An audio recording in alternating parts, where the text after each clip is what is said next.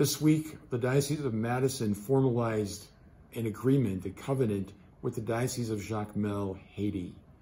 Haiti is the poorest country in the Western Hemisphere. Most people subsist on less than $2 a day. Its levels of poverty are alarming, and most people do not have adequate access to healthy food, clean water, and um, living conditions, houses. So it's a place of tremendous misery and suffering.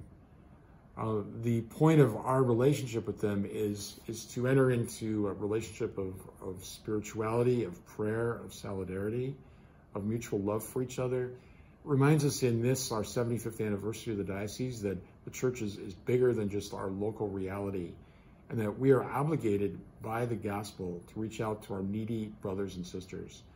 Our Haitian brothers and sisters are the most needy people in the western part of our world. So to that end, um, Bishop Toussaint, who's the Bishop of Jacmel, and I signed a formal memo of understanding. So we will pray for each other, we will support each other, hope to visit each other, sending delegations back and forth. There may be other projects that we will work on together.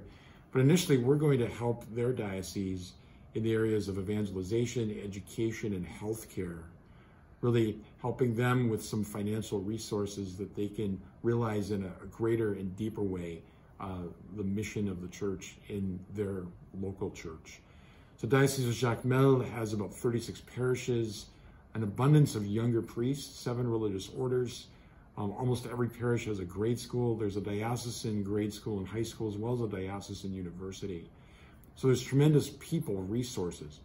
But the area is very mountainous, transportation, communication is difficult, and so any help that we can give them is going to go a long way to evangelize, to catechize, to celebrate the sacraments, do all the things that we do here and aspire to do together in the harmony of solidarity that is the Church of Jesus Christ.